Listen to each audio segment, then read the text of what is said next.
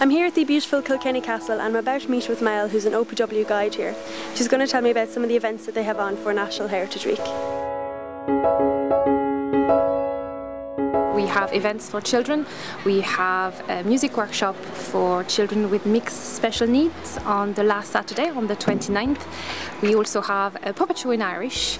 Uh, we have uh, talks uh, by Emma O'Toole about the Victorian Nursery. We're also going to have a handling session for children during the weekends. So um, every Saturday and Sunday we are going to bring some very special children upstairs and they can play with some of the toys that children will have played in the castle a long time ago.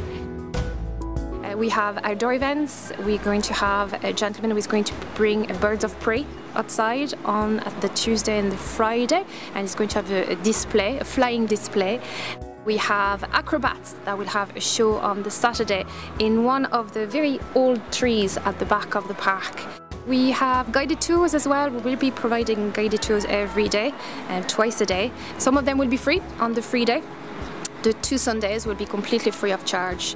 We also are opening the picture gallery for artists. If they want to come and sketch some of the paintings there on display, um, they can come with the material and um, sit down, enjoy and sketch some of our paintings. So we really have a huge amount of events this year. We're really proud of our program. I think Heritage Week has been hugely important and it's more and more important to us, especially for the local people.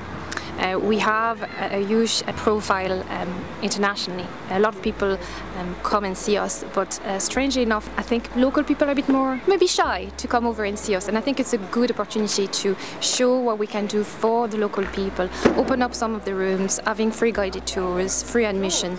So it's important to open some of the rooms that would not be usually open to the local people. And um, I think just give them back their sites. It's uh, their sites as much as our site, or visitors to the castle.